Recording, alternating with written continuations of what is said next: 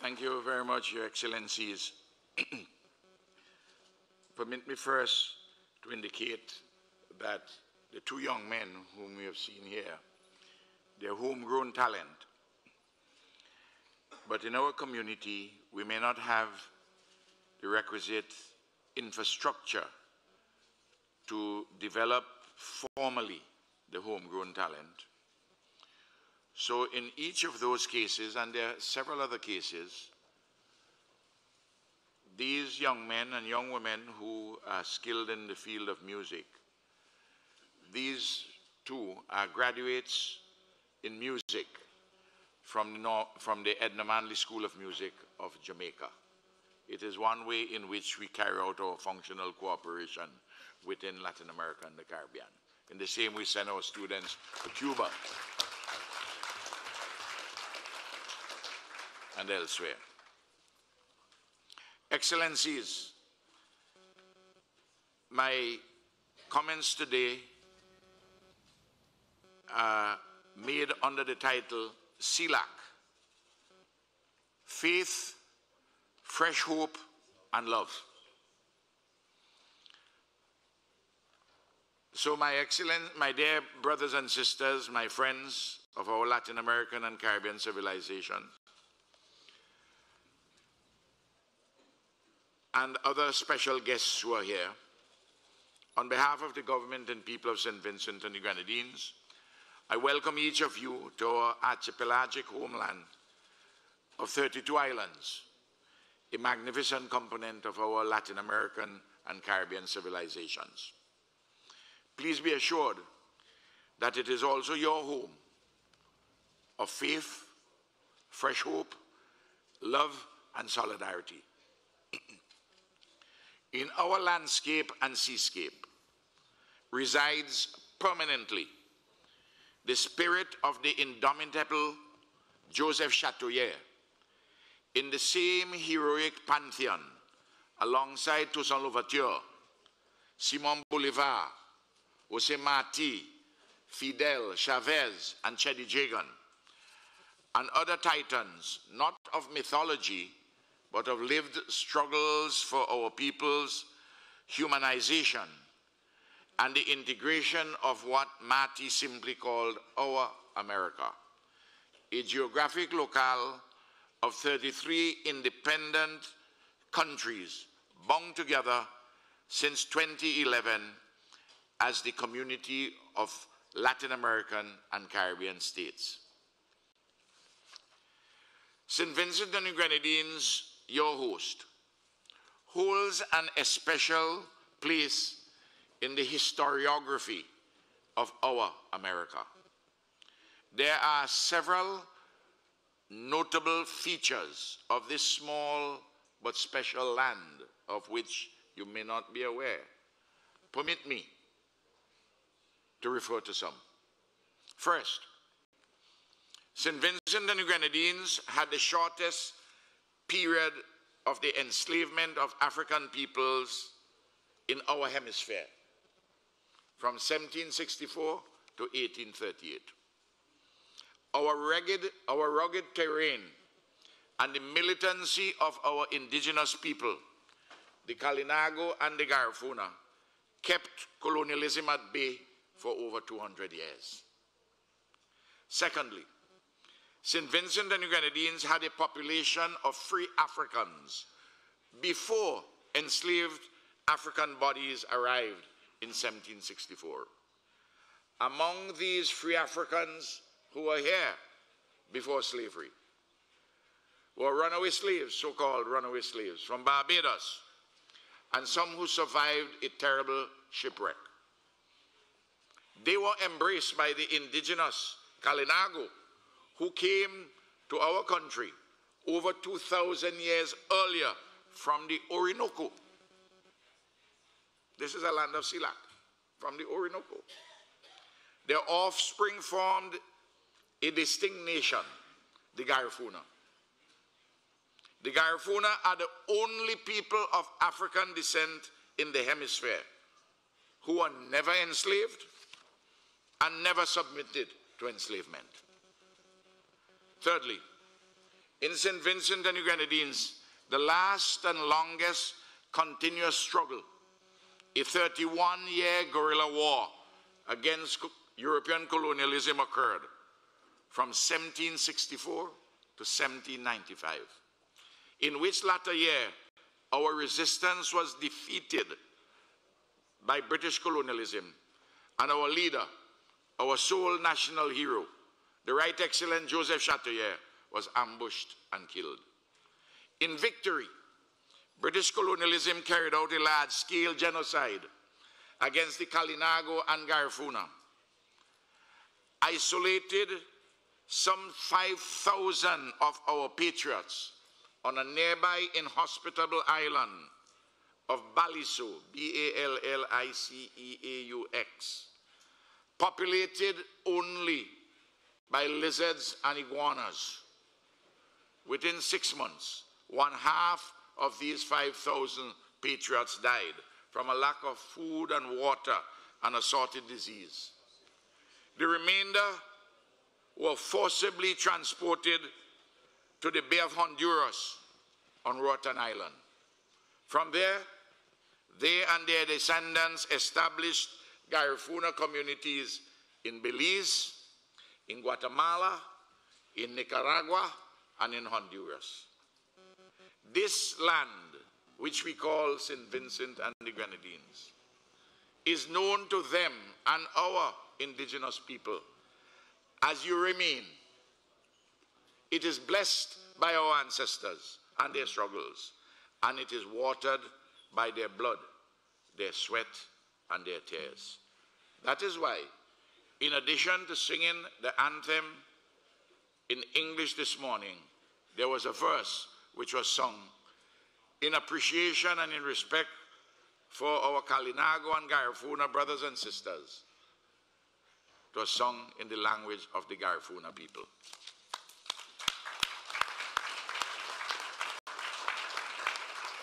Our inheritances are special. We are metaphorically a symphony. We are the songs of the indigenous people, the Kalinago of the Orinoco and the Garifuna. We are the rhythm of Africa, and we are the melody of Europe, and we are the chords of Asia, and we are the homegrown lyrics of the Caribbean. Like all symphonies, there are from time to time dissonances. And we address our dissonances. But we are indisputably an integrated whole. We are part of an island and seaboard civilization,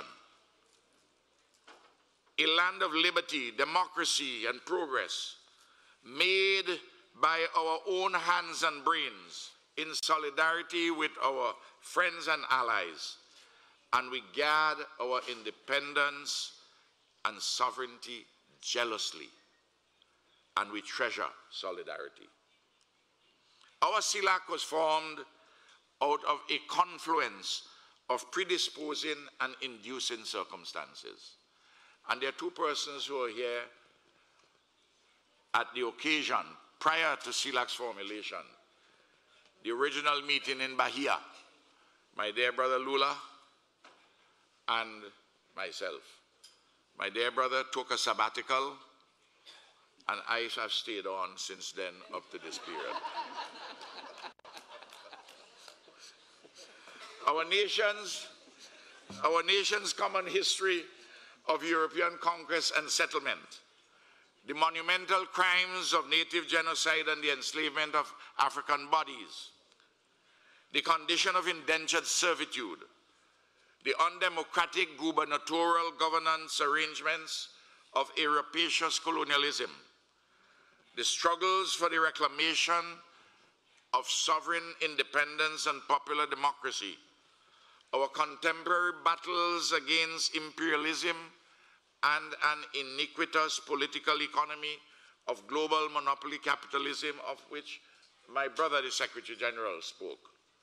Our quest for sustainable development and inclusive societies, and our geographical closeness have all conspired to predispose us towards creating CELAC. The requisite glue of solidarity of purpose and action in our contemporary times in pursuit of peace, justice, prosperity, and security for all, based on the popular will, induced us to establish this celebrated regional integration mechanism, CELAC, a community of sovereign states. We gather in St. Vincent and the Grenadines for CELAC's 8th summit at a time of extraordinary global challenges of great complexity, awash with multiple contradictions. These impact significantly on our America, and specifically on our people's lives, living, and production. These externally sourced encumbrances and burdens, which restrict or constrain the scope of action of our people, are made more complicated by homegrown weaknesses, limitations, confusions, and conflicts. Despite our strengths and possibilities, inclusive of those resident in the genius of our peoples, even with our own burdensome travails and setbacks, we have advanced commendably. We, by and large, we are ordered societies with thriving civilizations and a material base reasonably supportive of uplifting lives and living. We are thriving civilizations. We do not need lessons from anybody about we having civilized life and living.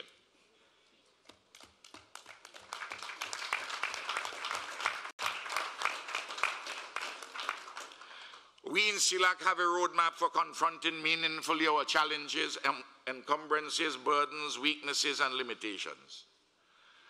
And from our inherited and extant conditions, we have set forth accordingly a package of policies and programs to advance our people's interests. Our draft declaration of Kingstown of nearly 100 paragraphs, which I expect to be adopted unanimously today, contains the necessary and desirable pathway on the 12 headings. You have the declaration, I don't need to repeat those rubrics. Additionally, there are nine declarations on specific subjects which we expect to be adopted today. Over the past year since the election of St. Vincent and the Grenadines as the pro tempore presidency of CELAC in January 2023. Relevant initiatives were undertaken within each of these broad frameworks. The Minister of Foreign Affairs of our country reported earlier on these, and you would have noticed that this very small country, who many persons doubted our capacity to do this job, we had a very active year. It is up to you to judge whether we did well or not.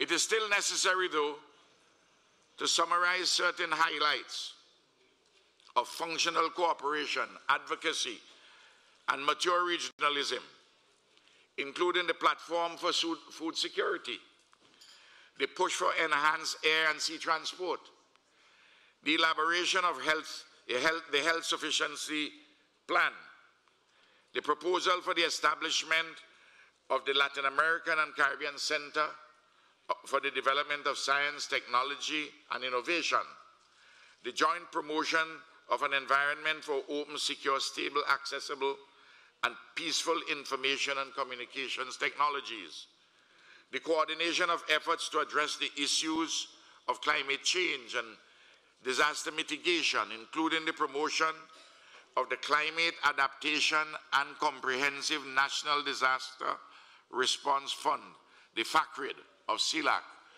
which Mexico and Argentina initiated and which we have put some resources and I ask all members to put resources to this particular response fund. And the consideration of the Caribbean Sea as a special area in the context of sustainable development. And then there was the initiative of our country to activate the Technical Working Group on Afro-Descendants of CELAC, and enhanced activism for reparatory justice, including the promotion of CARICOM's 10-point plan for reparations, and the activism in maintaining the Caribbean as a zone of peace, including the sterling efforts to reduce tensions on matters consequential to the border controversy between Guyana and Venezuela, which resulted in the Argyle Declaration of December the 14, 2023.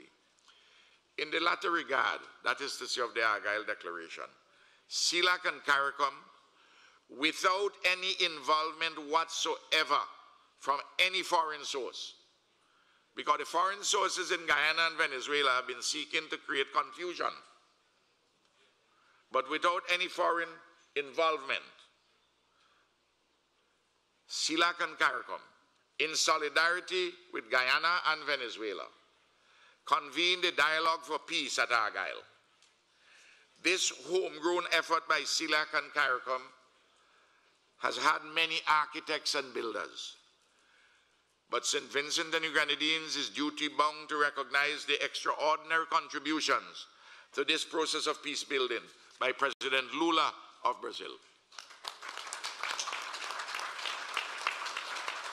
President Petro of Colombia, President, President Diaz-Canel of Cuba, Prime Minister Roosevelt Skerrit of Dominica and the chair of CARICOM at the time, and Prime Minister Mia Mottley of Barbados. However, without the wisdom and maturity of two highly esteemed leaders, my dear friends and brothers, two combatants for peace, President Ali of Guyana and President Maduro of Argyle. Without them, the Pact of Argyle would not have been possible.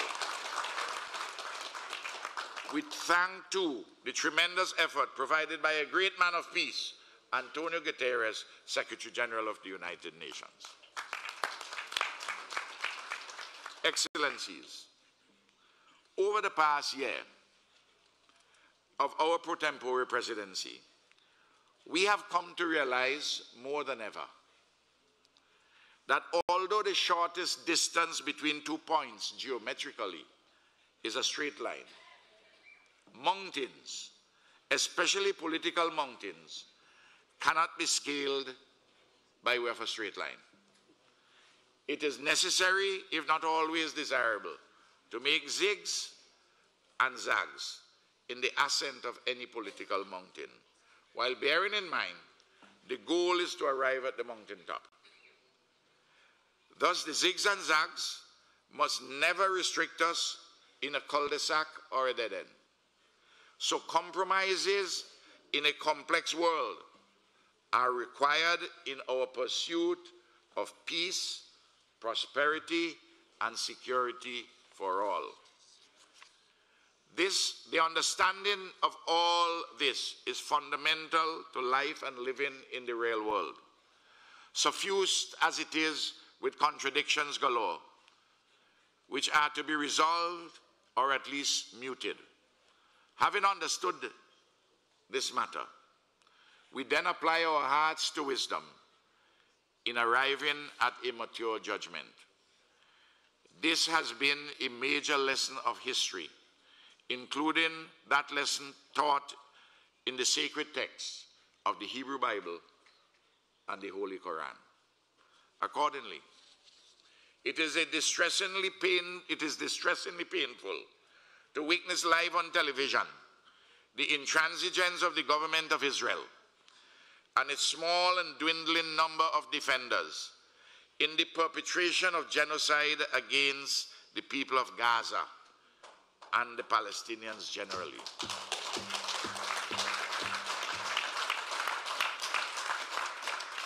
In our draft declaration, we are demanding, among, among other things, an immediate ceasefire, ample humanitarian assistance, the observance of international law, a resolution of the peaceful resolution of the conflict, and a two-state solution as repeatedly endorsed by the United Nations. Similarly, the terrible ordeal in Ukraine must come to an end with negotiations for peace.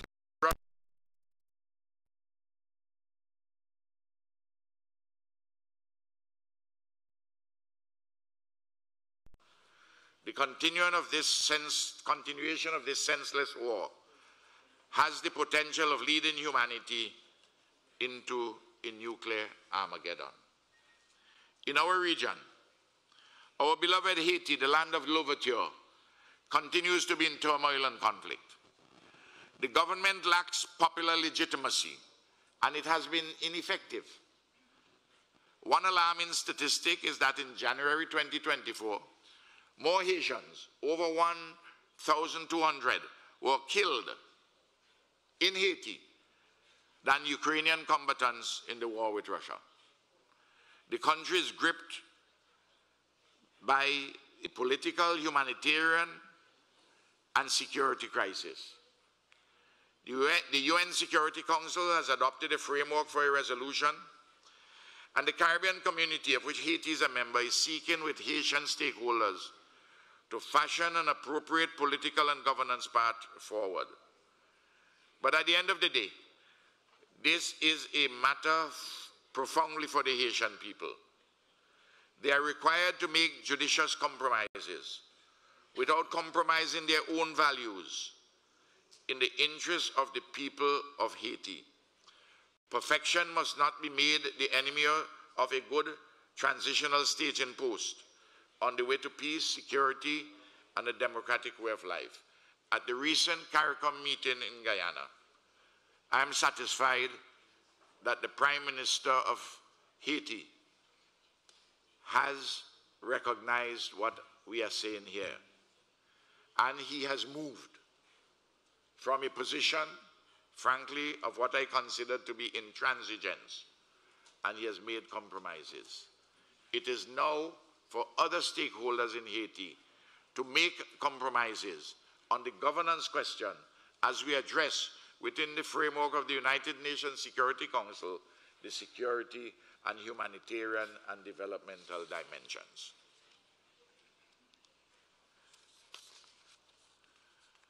Excellencies, as the leader of a small, very small country, please permit me to state a few essentials born of our experiences. We tell everyone, especially those whose very essences prompt them to demand subservience from us. Those whose instincts, instincts drive them towards imperial or hegemonic rule. That this country, St. Vincent and the Grenadines, will never permit any other country to dictate to us. We will never allow anyone to choose for us our friends and allies. And we do not, for those who think that we can be bought with blandishments, we do not put a for sale sign in our metaphoric shop window. And determinedly, we are not for sale. As a small country, I need to emphasize this so that the message can get clear that we are not like that. We in St. Vincent and the Grenadines are not better than anyone, but no one is better than us. We are small, but we have a history of authenticity, of struggle, of achievement. We possess nobility. We are a special part of the great Latin American and Caribbean civilizations. And we have a trajectory for further ennoblement. We rely on the genius of our peoples in a continued quest for self-mastery, but always in solidarity with like-minded peoples the world over. We are friends of all, and we strive for a different and better world. Later today, St. Vincent and the Grenadines passes the torch of the PTP of CELAC to the Republic of Honduras and its leader of inestimable value and virtue, President Xiomara Castro. On January 23, 2023, in Buenos Aires, President Castro, President Castro proclaimed defiantly, we are the resistance. I understood fully what she meant. And I am most pleased to be led by her for the next year in CELAC. And it is expected that Honduras will be succeeded by the Republic of Colombia sometime in March 2025. I want to congratulate my dear comrade sister and thereafter my dear brother, President Petro.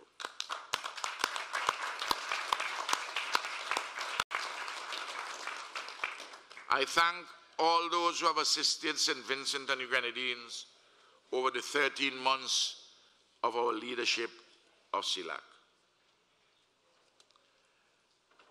I make one final plea to my colleagues gathered here.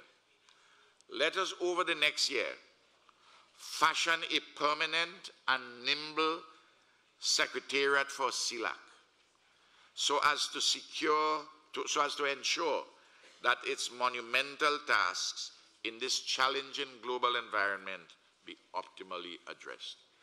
As in biology, structure follows function.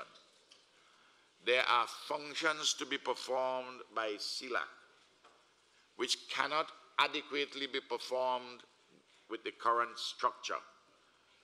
I am calling for us to give serious and urgent consideration for a permanent and nimble secretariat for CELAC to carry out its requisite functions.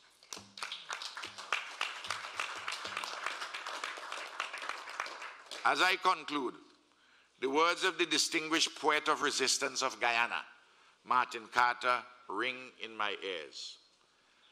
And so, if you see me looking at your hands, listening when you speak, or marching in your ranks, you must know. I do not sleep to dream, but dream to change the world. In CELAC, we must not sleep to dream, but dream to change the world for the better.